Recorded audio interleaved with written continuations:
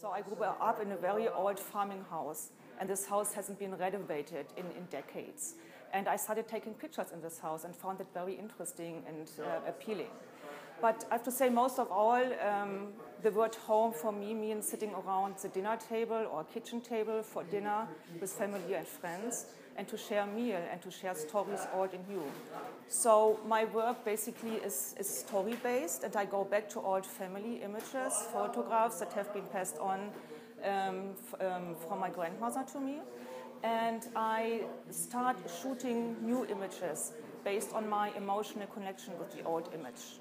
And uh, so for me, it is um, showing present and past at the same time and stitch it together. Sometimes I use elements like old fabric that has been in my family for a long, long time, the oldest one from 1799. And I stitch these images, present and past, together to make a new image.